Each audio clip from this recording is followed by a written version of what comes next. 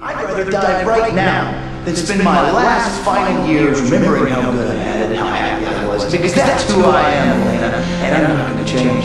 And there's no apology in the world that encompasses all the reasons that I'm wrong. I remember years ago someone told me I should take caution when it comes to love I did and you were strong and I was not My illusion, my mistake I was careless, I forgot I did You're nothing to me, Damon. Really? Then why tell me you're in love with me? Why tell me it's the most real thing you've ever felt in your life?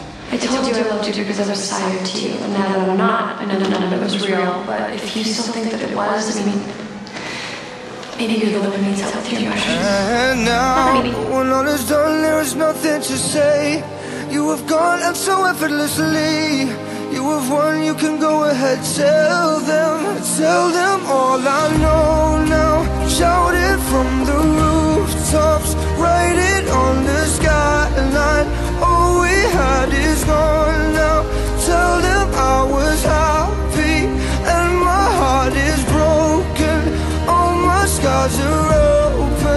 Tell them what I hoped would be impossible. Impossible